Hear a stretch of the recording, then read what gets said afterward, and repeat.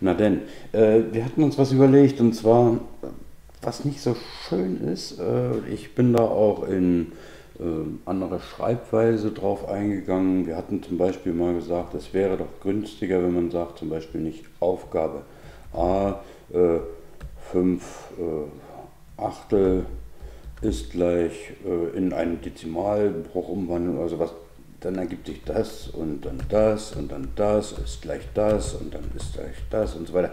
Äh, das fanden wir grundsätzlich nicht mehr so gut, sondern wir hatten dann zum Beispiel gesagt, äh, wenn wir zum Beispiel Brüche in Dezimalzahlen, äh, Dezimalzahlen in Brüche verwandeln, ähm, dann hatten wir gesagt, a ist gleich 0,2. So, 0,2 sollte dann in eine Dezimalzahl umgewandelt werden oder, oder, oder, oder. Und wir haben das praktisch immer als a ist gleich und so weiter fortgeführt und und und. Ähm, ich erinnere nochmal an folgendes Verfahren.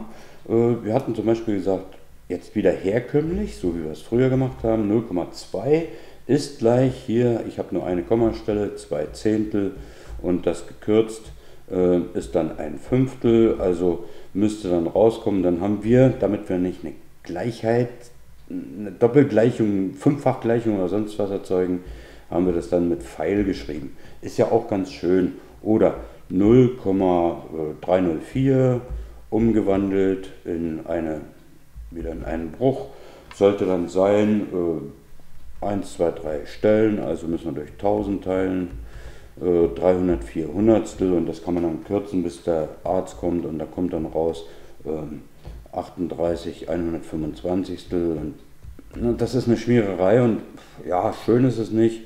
Ja, gut. Ähm, jetzt haben wir uns ein Verfahren entwickelt und zwar, wenn man schon Gleichungen lösen kann, also Äquivalenzumformung, um das Thema geht es eigentlich, ähm, dann kann man das ja auch super mal so anwenden, indem man sagt, okay, 0,2 schreibe ich als Gleichung einfach hin, ist 0,2. Bis jetzt ist nichts Schlimmes passiert. Jetzt formen wir beide Seiten um und zwar beide Seiten nehmen wir mal 10, damit ein Komma verschwindet.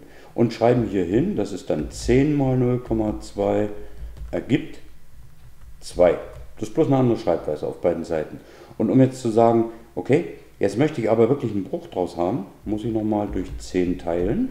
Denn 0,2 soll gleich sein etwas was dann hier auf der rechten Seite als Ergebnis steht, nämlich zwei Zehntel, gekürzt ein Fünftel. Ich lasse es jetzt erstmal ungekürzt stehen. Oder bleiben wir bei diesem Beispiel 0,034, 0,0, äh, 0,34, 304 hatte ich gesagt, okay, das machen wir mal genauso und schreiben das als 0,304 nochmal so hin. Und jetzt nehmen wir den ganzen Kram mal 1000 weil es sind drei Kommastellen, ne? hier drei Kommastellen. Dann ergibt sich hier 1000 mal, das ist ja nur Schreiberei, man muss ja nicht mal nachdenken dabei. Das ist ja das Schöne, wenn man in Mathe viel schreibt. Und das ergibt 304. Jetzt möchte ich aber, dass 0,034 ein vernünftiges 0,304 ein vernünftiges Ergebnis gibt. Also, das ist mein Ziel. Sage ich, okay, ich teile wieder durch 1000. Natürlich ist es Schreiberei. Aber es läuft sauber. Das ist vielleicht bei diesen, äh, bei einfachen äh, Dezimalzahlen, die nicht periodisch sind, äh, ist das vielleicht mit Kanonen nach Spatzen geschossen. Das weiß ich selber. Aber wenn ich mir dieses Verfahren angewöhne, dann bin ich auch in der Lage, periodische Dezimalbrüche auf diese Art umzuwandeln, ohne, und jetzt muss ich mal was zeigen, Leute guckt, ähm, ich habe hier mir mal eine Anleitung, die ist nicht schlecht, aus dem Internet gesucht, äh, wie das Leute auch machen. Und im Wesentlichen, das wird auch bei YouTube so erklärt, haben wir das so, dass wir sagen, okay, dann multipliziere die Zahl mal 10, okay, dann ergibt es 1,6 Periode 6. Dann habe ich hier 1,6 Periode 6. Das splitte ich dann wieder und schreibe es als Summe, als 1 plus 0,6. Dann schreibe ich diese, pardon, 1 plus 0,06 als 1 plus 0,6 Periode 6 ist 6 Neuntel, muss man wissen äh, auswendig lernen, schadet nicht. Ne?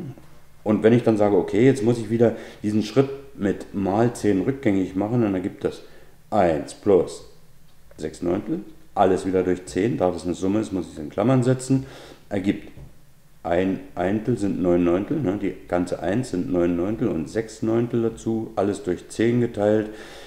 ist gleich, ist gleich, das ist ja das, was wir vermeiden wollen, sind 9 plus 6 sind 15 Neuntel, der Nenner bleibt gleich. Und äh, durch 10 heißt genauso wie mal ein Zehntel, also muss ich 15 mal 1, 15 rechnen und unten im Nenner 9 mal 10 sind 90. 15 Neunzigstel ist also der umgewandelte Bruch von 0,16 Periode 6. Und das gekürzt ergibt ein Sechstel. Ja. Äh, hier ist man auch darauf auf, eingegangen, äh, bestimmte Brüche auswendig zu lernen. Das macht man dann im Laufe des Lebens.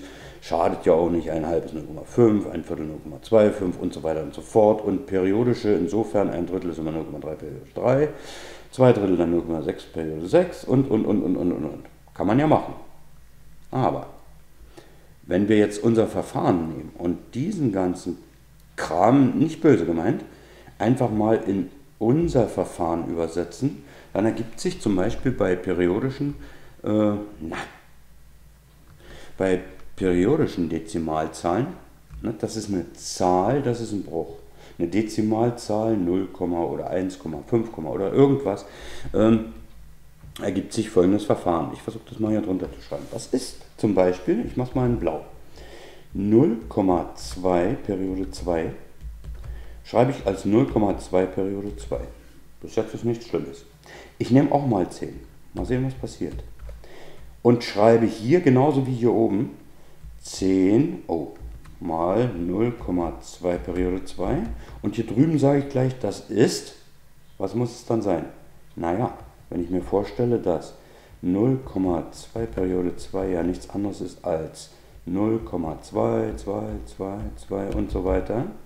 Und das Komma durch mal 10 nehmen, um 1 nach rechts rückt, was passiert dann? Dann ergibt das 2,2 Periode 2. So, jetzt kommt ein kleiner Trick. Jetzt splitte ich diese 10 mal 0,2 Periode 2 auf. Ich schreibe mal hin, Split.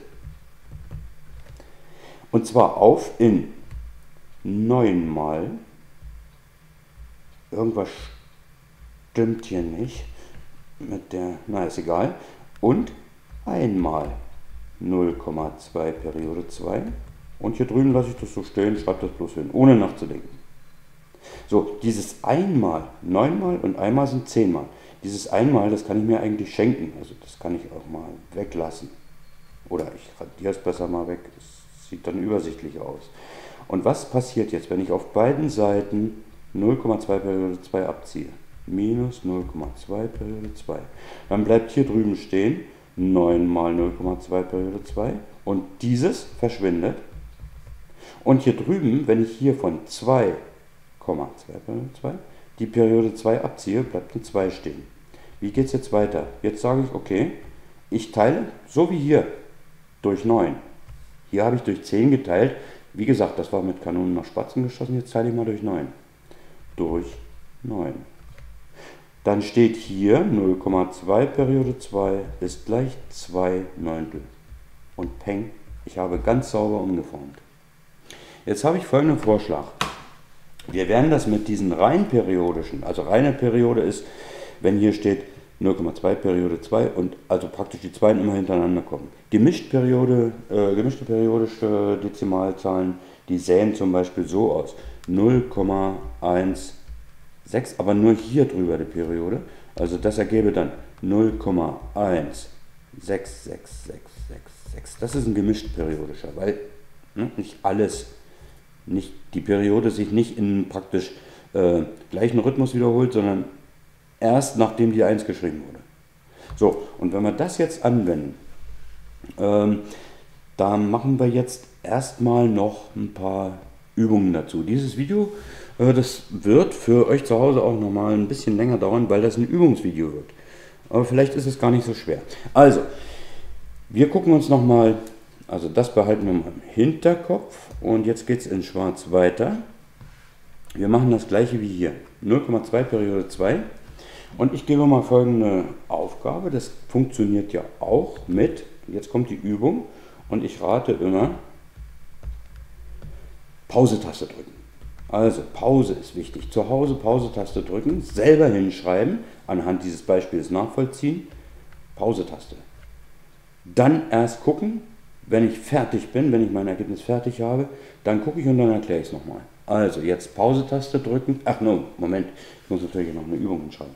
Ähm, nehmen wir mal an, wir sagen 2,3 Periode 3 möchte ich in einen Bruch umwandeln. Ist gleich, Achtung, so weitermachen wie bisher und dann mal sehen, was wir bei rausbekommen. Ich drücke die Pause-Taste, ihr zu Hause auch. So, Pause. Weiter. Jetzt kommt die Auflösung. Ich habe also geschrieben, 2,3 Periode 3 ist gleich 2,3 Periode 3, so wie hier oben. Damit, weil es ist nur eine Kommastelle, die stört sozusagen. Also nach dem Komma kommt nur eine wichtige Stelle, die wiederholt sich dann später aber. Also nehme ich den ganzen Mist mal 10. Jetzt habe ich hier drüben geschrieben, so wie hier oben, 10 mal 2,3 Periode 3. Und hier habe ich ausmultipliziert. Das ist dann 23,3 Periode 3. Nochmal, so ähnlich wie hier oben. Es wiederholt sich. Ich zeige es nochmal. Also dieses 2,3 Periode 3 ist ja eigentlich ein 2,333 und so weiter. Und was passiert jetzt, wenn ich folgendes mache? Wenn ich jetzt mal 10 nehme, dann rutscht das Komma an diese Stelle hier. Von hier nach hier. Also habe ich 23,3 Periode 3. So, dann schreibe ich mir das entsprechend gesplittet hin, damit ich, und jetzt sage ich dieses 10 ist gleich 9 plus 1. Ne? Und dieses habe ich mal gelb geschrieben, damit das gar nicht mehr so auffällt. Und jetzt sage ich, wenn ich das habe, dann kann ich nämlich, habe ich nämlich hier hinten wieder diese böse, böse Kommastelle und kann hier hinten abziehen. Schaut hier, Achtung, dieses kann ich lösen jetzt hier. Ich nehme diese 2,3 Periode 3 einfach von hier weg, indem ich auf beiden Seiten diese 2,3 Periode 3 abziehe. Hier drüben bleibt nur noch stehen 9 mal 2,3 Periode 3 und hier 23,0 minus 2,3. Die Periode verschwindet. 23 minus 2 ist 21. Ich teile noch durch 9 und habe ganz sauber nach dem Kürzen 21 Neuntel, also 7 Drittel. Nächste Aufgabe. Ähm, dum, dum, dum, Momento. So, nächste Aufgabe. Ich schreibe sie mal gleich hier drunter. Ähm, probieren wir das mal aus mit 25,7. Periode 7 ist gleich. So, zu Hause Pause-Taste drücken und dann geht's weiter. So, weiter geht's. Jetzt sieht man es, wie ich es gemacht habe. Zu Hause vergleichen und dann gucken, wo ist der Fehler und so weiter und so fort. Ich habe die Aufgaben äh, nachgerechnet. Also 232 durch 9 ergibt dann wirklich diese 25,7 Periode 7. Oder 232 Neuntel. Das ist ja entweder 232 durch 9 beziehungsweise genau das gleiche als Bruch. Ein unechter Bruch macht aber nichts. Kann man so lassen. Nächste Aufgabe. Wieder zum Üben und wir werden dann Pause-Taste drücken. Ich ziehe mal runter. Was hatte ich mir noch überlegt? Ah ja, äh, mal eine scheinbar ganz einfache Aufgabe. 0,01. Die ist eigentlich leicht. Die bleibt auch leicht. Werdet ihr selber sehen, wenn ihr ganz zügig durchzieht. Zu Hause Pause-Taste drücken. Ich drücke auch Pause. Achtung. nee, äh, ich habe schon gemerkt, wir müssen das nochmal ein bisschen vorsichtiger machen. Wenn ich jetzt splitte und sage, ach ja, das ist 99 mal, ne? ich hab, also warum ich mal 100 nehme, ist klar. Damit, weil hier zwei Stellen sind, nur noch hier hinten eine periodische Kommastelle steht. Und ich sage 99 mal diese 0,01 Periode 1 plus einmal 0, also ich schreibe dieses einmal nicht mehr dazu, 0,1 Periode 1 ist gleich 1,1 Periode 1. Jetzt kriege ich ein Problem, wenn ich hier das abziehen will von hier, komme ich nicht weiter. Hier muss ich mir was anderes überlegen. Deswegen ist das hier ungünstig. Ich lasse mal die 99 weg und, ach nee, ich schreibe mal eine Zeile neu. Ähm, und sage, ach Mensch, was mache ich denn hier am besten?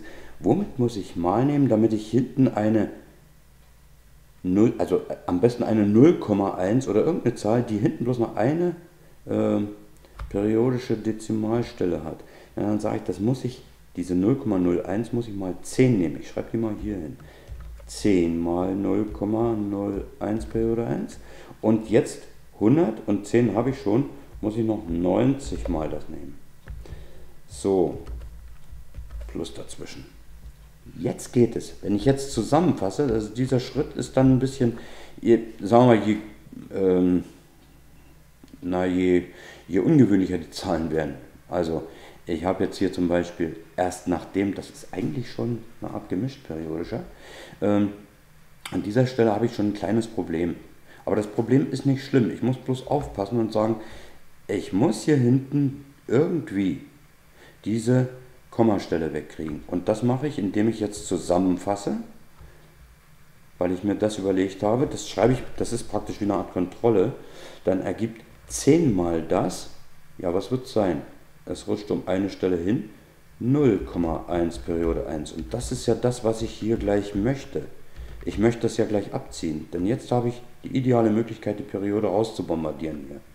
Und natürlich bleibt hier vorne die 90 mal 0,01 Periode 1 plus diese 10 mal. Ich habe zusammengefasst. Ne? Jetzt, das lasse ich so stehen. Geht leichter. Wenn ich das ausmultiplizieren müsste, ach, dann hätte ich wieder ein Problem. Lass es einfach so stehen. Und jetzt sage ich, okay, gut, nicht schlimm. Jetzt ziehe ich diese 0,1 Periode 1 ab. Hier drüben bleiben noch 90 mal diese 0,01 Periode 1 stehen. Und hier drüben, was bleibt hier übrig? Genau, eine 1. Jetzt teile ich durch 90 und dann habe ich es. 0,01 Periode 1 ist ein Neunzigstel. Ja, das ist schon ein bisschen anspruchsvoller gewesen. Ähm, machen wir mal gleich noch eine in der Richtung. Und zwar 2,05 Periode 05. Ist das jetzt noch eine gemischt periodische Dezimalzahl? Nö. Das wird sich wiederholen als 05, 05, 05, 05. Pause-Taste drücken zu Hause. Wir machen es auch. Und wir rechnen hier. Na, da hoffe ich, dass es geklappt hat. Warum? Ich habe zwei Stellen. Egal, ich hatte hier oben auch zwei Stellen und habe deswegen mal 100 genommen. Hier musste ich bloß ein bisschen aufpassen. Ist aber nicht schlimm. Und jetzt habe ich hier auch wieder zwei Stellen hinterm Komma, die irgendwie erstmal getötet werden müssen. Also nehme ich alles mal 100, schreibe das wieder hin, splitte und sage, warte mal, äh, diese Periode 05, äh, die tritt ja schon auf, wenn ich sage, ich nehme nur 99 mal das plus einmal 2,05. Denn wenn ich die 2,05 dann im nächsten Schritt abziehen werde, hier in diesem Schritt ziehe ich sie ab, dann habe ich ja hier eine glatte 203, die, die Periode ist auf der Seite verschwunden. Ich teile doch durch 99 und habe das Ergebnis. Nächstes Ding. Äh, sieht bloß schwer aus. Und zwar 0,021 Periode 21 ist gleich was? Also hier an der Stelle geht es weiter. Pause-Taste drücken. Ah ja, ich habe schon gemerkt, wir müssen es nochmal hier. Achtung. Ich muss das splitten. Wenn ich sage, splitten ist gut, aber jetzt nicht mal 1, das bringt nichts. Dann komme ich mit der Periode nicht klar. Wenn ich es aber mal 10 nehme, dann rutscht das Komma nur eine Stelle dahin und ich habe die Periode 2,1 direkt hinterm Komma, so wie hier. So wieder Pause-Taste drücken, denn hier vorne fehlt ja noch was. Ne? Na, da sind wir wieder. So, also, wie üblich, hier drei Stellen, also mal 1000. Jetzt geht der ganze Tippeltappeltour-Kram los. Ich sagte ja hier an der Stelle, ne, hier ein bisschen beim ähm, Splitten aufpassen, damit ich eine 0,21 Periode damit die Periode weg äh, gekillt werden kann im nächsten Schritt. Also habe ich hier 10 mal, dann bleiben mir noch 990 von den 1000 übrig und dann bin ich fertig. Bitte? Ach so, ja. Entschuldigung. Natürlich, kürzen. Wir können kürzen. Äh, durch 3 geht es auf jeden Fall, das sind 7 und durch 3 sind 330. Sauber hinschreiben, Leute. Lieber eine Zeile mehr schreiben als Mist machen.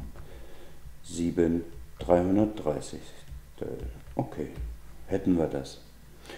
Äh, ja. ja. Wir wollen mal ein Sechstel rausbekommen. Ich sag mal gleich, was rauskommen muss. Ähm, also 0, nee. Ich mache es mal ein bisschen schärfer. Äh, Nochmal zur Übung einen rein periodischen, und zwar reine Periode 161616, bitte umwandeln. Pause drücken zu Hause. Und da ist die Lösung. Also im Prinzip ist wieder nichts passiert. Es ist eine reine Periode, deswegen ist das hier auch nicht mehr so schlimm. Und hier habe ich, äh, kann ich ganz gut erkennen, dass ich ja hier schon diese 0,16 Periode 1,6, dass die hier schon durch einfaches Splitten einmal abteilen, ne? von 100 1 wegnehmen, dann bleibt einmal das übrig. Ich kann es abziehen, dann bleiben 16,99 zum Schluss. Aber äh, was ist, wenn jetzt da steht 0, ich möchte ja dieses 1, 6, 1 Sechstel mal darstellen. 0,16, aber Periode 6. Nicht hier oben war es komplett Periode 1, 6, hier war es nur Periode 6. Ist gleich was? Pause-Taste drücken. Naja, müsste eigentlich geklappt haben. Wenn nicht, macht Schritt für Schritt nochmal. Durchsucht mal, wo euer Fehler ist. Also hier ist es wirklich ein Sechstel, weil wenn ich 15 Neunzigstel rauskriege und durch 15 kürze, kriege ich ein Sechstel raus. Ähm, ja, jetzt könnte man das noch bis zum, bis zum geht nicht mehr machen. Ich kann das auch beweisen, äh, dass das sogar für Wahnsinnsgeräte funktioniert. Ähm, das wäre zum Beispiel, wenn ich, oh, oh, machen wir den Spaß noch, das Video wird zwar furchtbar lang, ähm, wenn ich 1 durch 7 so klassisch mit Rattenschwanztechnik teile, ich lasse es jetzt mal weg, also ähm, sonst wird der Rattenschwanz zu groß, dann kommt folgendes raus und zwar 0,1428557 und zwar komplette Periode. Wer Spaß daran hat, der kann das ja mal ausprobieren. Ich sage gleich, Achtung, es sind 1, 2, 3, 4, 5, 6 Stellen die wegbombardiert werden müssen. Und demzufolge, äh, ich gebe mal den Anfang, man schreibt also 0,142857 Periode 142857 ist gleich das gleiche und nimmt dann mal, weil ich hier sechs Stellen habe, mal eine Million. Warum? Weil eine Million sechs Nullen hat. So, das war der Tipp. Pause-Taste drücken. Äh, ich mache das Ding mal fertig und dann könnt ihr das sehen im Nachgang. Also Pause-Taste drücken und mal gucken. Naja, ich glaube, das hat ein paar Minuten gedauert. Schon allein der vielen Schreiberei wegen. Also ich sagte ja, der Tipp war, ne, 1, 2, 3, 4, 5, 6 Stellen, 1, 2, 3, 4, 5, 6 Nullen nach der 1, also mal eine Million. Dann ist nur noch Schreiberei. Splitten und gucken. Und da das aber eine reine Periode ist, die sich ja immer wiederholen würde, also immer 1, 4, 2, 8, 5, 7, 1, 4, 2, 8, 5, 7 und so weiter, kann ich sagen, okay, ich nehme nur einmal von der eine Million weg, dann bleiben mir aber 999.999. Hier drüben äh, beim Ausmultiplizieren hat sich ergeben 142.857,142857 Periode 142,857. Also man kriegt ja, na gut. So, und jetzt geht es in Tippel-Tappel-Tour weiter, vergleicht das, probiert es aus. Ich habe dann hier gekürzt und habe dann gezeigt, dass ich nochmal gekürzt habe. Also man kann sich schrittweise rankürzen. Es ist schon ein bisschen. Ich habe hier gleich durch 27 gekürzt. Warum? Ich habe die Quersumme gebildet. 1 plus 4 plus 2 plus 8 plus 5. Und das ist 27 und durch 27 kann ich dann den ganzen Kram teilen. Und auch 9 und 9, 9 und 9, alles zusammengezählt. Ergibt also äh, 6 mal 9, 54 ist auch durch 27 teilbar. Also ihr kennt das, die Teilbarkeitsregeln, Quersumme durch 3 nur teilbar, ist die Zahl nur durch 3 teilbar, ist die Quersumme 9, ist sogar durch 9 teilbar, ist durch 27 teilbar, dann ist auch durch 27 teilbar. Also, und dann habe ich ein Zwischenergebnis rausgekriegt und habe das dann nochmal gekürzt. Und zwar durch 5291. ich weiß, ist ein bisschen doll, ähm, aber ich wollte nur zeigen, dass es geht.